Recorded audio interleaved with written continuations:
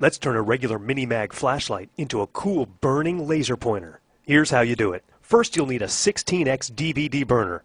I'm using an LG that I had as a spare. Remove all the screws and take apart the case. Remove the drawer to expose the carriage assembly. That's where you'll find the powerful laser diode. All DVD burners will have a set of rails that the laser assembly rides on. After pulling out the assembly, start removing all the little screws to get to the laser diode. Be careful, because the diode is a fragile electronic component.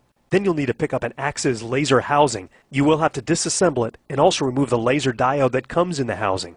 I used the back end of an X-Acto knife handle and gently tapped out the existing laser diode. Then you're going to carefully install your new DVD laser diode in the laser housing. You're almost done. All DVD laser diodes use a similar configuration. Be sure to test your polarity using two AA batteries.